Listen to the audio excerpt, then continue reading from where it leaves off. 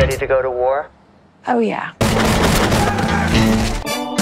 넷중 하나는 불량인 거지. All I have are negative thoughts. Maybe eat a spoon. I cried four times. Me too. I'm working on a novel. It is a story of my life. 欢迎收看 E Studio 一镜到底奥斯卡预测特别节目，我是主持人周伟博。今天呢，玛丽不在，因为我们有很好吃的东西，她太瘦了，她可能吃不完，所以我们邀请了许多的饕客来到今天，跟大家同时分享这个奥斯卡赛前的预测，还可以享受这很棒的这个早餐。早餐再慢慢分享。我今天是来介绍一下今天的这个特别来宾。先从我的右手边，大家的这左手边来介绍，这是我们的 E Studio 的好朋友，就是狂热球主编 Chris。嗨，大家好，我是 Chris。耶、耶，怎么样？啊今天来到你这里的专业的主场哦啊。，是是是，好久没来，对觉得很棒，很多东西很好吃。好，那接下来呢，就是这个我们的新同学，哎，今天有美女在旁边，真是便宜了文字哥了哈。最喜欢坐美女旁边。对，让我们来介绍这美女的影评，Christine。嗨，大家好，我是 Christine。嗯，我的我是 Let Me Sing Your Words 的版主。嗯，很高兴今天可以来到这里跟大家聊奥斯卡预测。太好了，你今天就来放轻松，因为因为有美食，然后你旁边还有一位幽默风趣，不失专业又深度。让我们来介绍，你你刚刚都怀疑自己了是不是？对，我们在讲同一个人吗？这是我？欢迎这个资深的影评人、电影工作者，还有媒体人吴文志，文志哥。大家好，然后各位新朋友、老朋友，大家好。但是我一定要讲一下，因为今天在录的这个时候，其实真的肚子蛮饿的，所以我已经先吃一半了。大家都已经吃一半，对每个人都吃一半了吧？非常好吃。我觉得我现在做节目，大家除了在讲专业之外，观众都很喜欢看人家吃饭。对啊，大家都用这种方式入啊。所以说，你今天刚吃了这个传统的这个三明治早餐，你觉得感受怎么样？因为我觉得它还蛮细致，哎，认真的，好吃。认真的好吃。对对对，真的没有，我不知道就是节目有没有收一些那个啊，但是我是知道很好吃。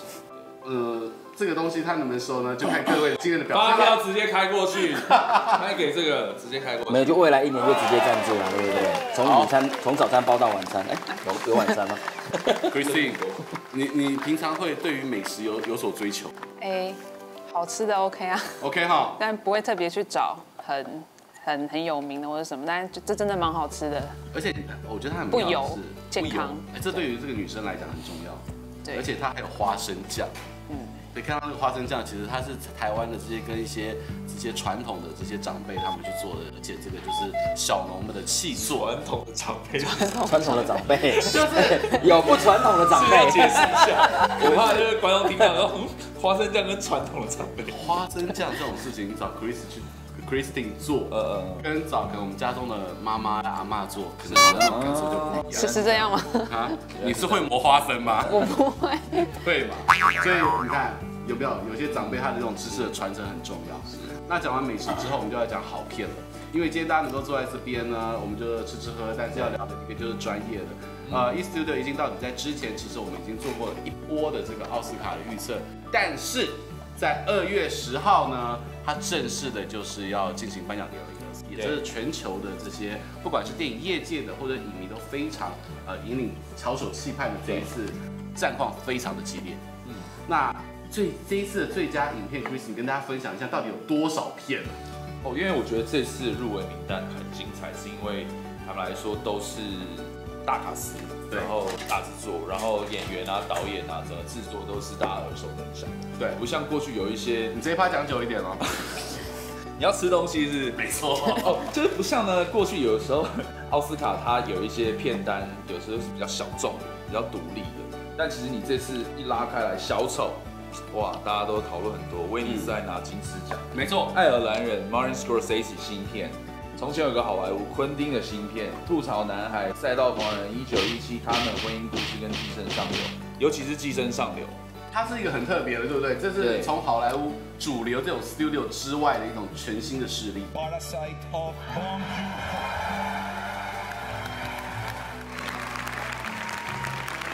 对，就是今年在坎城啊，去已经是去年了，去年在坎城拿下金棕榈奖的作品，它他一路这样，一路延烧到奖季，然后现在真的是甚至直指最佳影片都有可能。 네가 내 대신 얘 과외 선생님 좀 해줘라 영어 기정이가 그렇게 손재주가 좋다며 서울대학교 문서 위주학과 뭐 이런 거 없나? 아들아, 네가 자랑스럽다. 真的对啊，而且 其实你现在可以看到整个，因为呃，在北美就是 Neon 一个呃发行商把这个《寄生上流》买买走的时候，他在宣传上面算是非常非常用力。你可以看到奉俊昊还有那些演员司，就是上各大杂志啊、网络媒体啊，而且好莱坞的这些主流的，不管是 Brad Pitt 这种大明星啊、制片啊、导演们，都很乐于跟他们 hang out 哎。对他们超爱他，对啊对，每个人都合照。应该是说他过去的一些作品，对于好莱坞的一些影人来说就蛮喜欢的，所以他这一次真的拿了《寄生上流》到北美去宣传的时候，我觉得大家真的有一种，哎、我终于看到你是谁了这样子。然后其实他本人也蛮幽默。지금 진짜로 이상한 게 온 것 같아 아버지, 계획이 뭐예요? 那他其实英文能力也还不错，虽然有时候还是会带翻译，但其实他听都听得懂，然后讲其实偶尔可以讲，只是他有时候要表达比较精确的他的意思的时候，还是需要个翻译。但你可以从 呃，就是他现在在北美宣传的一个力道跟声势来说，你可以完全能够想象，如果今年最佳影片给他的话，我觉得真的不用太意外。虽然现在声势最近又配合着这个上片啊，对啊，而且被誉为神作。对，文志跟 Christine，你们对于一九一七有没有特别的感受？在这一次他上片之后，我嘛，我觉得非常好看。对我自己是蛮还蛮惊艳的啦，就是虽然说可以想象他就是会这么呃这么美的画面呐、然后还有那些一镜到底，就刚开始会以为他是噱头，但没想到他真的非常非常厉害。对，然后故事套路，我觉得故事比较传统一点，许多人会把它拿来跟敦刻尔克、敦刻尔克做比较因为。它跟敦刻尔克又是不一样，因为对，我觉得得完全不一样。它是两种不同的套路，但在技术上面跟剪接上面，它的这个技巧都非常的难。对，非常好。对你，假如说敦刻尔克，它从陆海空，嗯，对不对？三个这个维度跟三个时间点去讲去讲这一个要怎么样很危机的去解救这一群年轻军人。它的叙事其实是有趣的，就是 Dunkirk 敦刻尔克大情况，但是一九一七它就是从头到尾进到底。对。但你你感觉上叙事好像很无聊，但其实它的剪接的方式是需要大量的时间去研究。是。然后这次就一九一七的导演那个 Sam Mendes 跟他摄影师 Roger Deakins 还为了这个一镜到底特别再写了一个剧本。这怎么好意思？他为了我们在写一个，不是啊，为了这个一镜。原来如此啊！对这个这个这个手法啦，他又再写一句，他怎么去推啊，然后演员要怎么走位啊，摄影机的运动要怎么动。其实因为他没有剪接，你要很多时候都要一次一次把它到位，所以哦，我后来查资料发现演员在开拍前花了数月的时间去排练，因为蛮真的蛮精彩的。一九一七这部片 Christine，你在看这部片的时候，因为我是一个不只会只看就是整个画这个影框就翻的中间的这种，我会看旁边。嗯，对，你看一进到底的时候，你你会不会看到就是它旁边有一些细节？我觉得它最特别的方式会给观众一个，就是它是正在进行的感觉，它不会让你觉得就是这件事情就独立发生，它会就是让你觉得就是世界都是跟着在运作的，然后然后它是一系列发生下来的事情，对，所以都是就它不会有断断裂感，对，有些有些电影会有这样的缺点。文志哥，因为你是在片场也是深入的工作者，不管是随片啊，或者前后期都跟过，这个这个要这样子一镜到底拍进去，其实有多大的？其实好，我先从几个方面来讲。刚刚讲到前面大家讲说一镜到底有难度，我觉得它很有趣，是因为它用这个所谓的一镜的方式，其实比较像有有人开玩笑说，其实就是打 game 打 game 的概念，玩 game 玩一个 RPG 的时候，其实你就是跟着主人翁，你就是跟着主人翁一起跟着他，用视你用观众的视角一直紧贴着他去看他在这一场战争、这一场战役里面的一个所谓的冒险，在那种大场面里面，其实最难的不只是说我们以为拍摄的那些技术人员，其实还有很难的一个叫那个书画法装。它其实是很多段落的组合，你如何在那些段落之间寻找适合的接点？这当然是一开始就要想好，那当然是，而且事后也是要跟要透过剪接师的巧手，让它在每一个段落让它变得非常 smooth，然后加上很多后期特效。这个厉它的厉害就在于那些剪接或特效无迹可寻，其实是它的难是在这个地方。除了一九一七之外，小丑，我想大家应该有很多想要讲的，而且他在这一次入围了十一项。的讨论出现，因为呃里面的一些剧情难免会让人家联想到不好的一些社会的案件，然后呃它也确实影响到了北美一些影评人奖项的结果。那呃为什么也会为什么担大家担心奥斯卡也会被影响？是因为他的成员就是我们常常都说奥斯卡演艺成员是老白男，老人老白男老人白人跟男人，那确实上也是这样。虽然这几年已经慢慢让整个有色人种或是国际的成员越来越多，但呃，大家对于这件事情的，我觉得他们会选一个最安全的答案，他们不会去选一个就是真的会引发很多争议的，在最佳影片的部分。嗯，对，我觉得他们是考量在这一点。如果按照你的，我我大概觉得我心里的答案有点呼之欲出了。不过等一下我们再告诉大家。好，除了除了这些之外，还有婚姻故事啊，还有文字，嗯，我觉得爱尔兰人由你来讲，这辈分跟年纪是最合适不过的。因为大家又看到马马丁史科西斯回来了嘛， Uh, under the contract, management can only fire a driver on very specific charges. So, you ever show up late? No. Do you have any moving violations? No. Do you drink on the job? No. You ever hit anybody? On a job? Yeah. I don't think so. All right, then. We don't have nothing to worry about. 这几个人加起来几岁？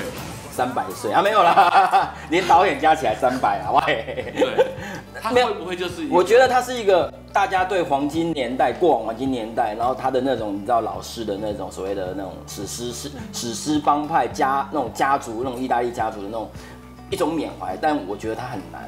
那很难的原因在于，因为我看了之后，我觉得，当然那是马丁斯科西斯重回他擅长或是他所谓的那种他最爱的那种类型片的一种一种题材，但我觉得对现代来讲，它其实我觉得是不是有点遥远的距离？我觉得第一个它太长了，对对，它三个半小时。啊，现在，哎、我觉得应该要做一做一种测试，有没有人可以就是三个半，然后不停歇，手机都不。拿出来看，嗯，很难，在超这个难时。代啊，以前看魔戒啊，而且那时候《Irishman》上映的时候，就是国外媒体还很贴心，就是你可以把它当影集看。四集，对，对，也分成那四段然后。你可以去尿尿。尿点对对对对对对对，很贴心。然后就有人问 Orange Scorsese 说：“哎，你为什么不把它当成影集？”他就说：“不可以，怎么可以当影集？”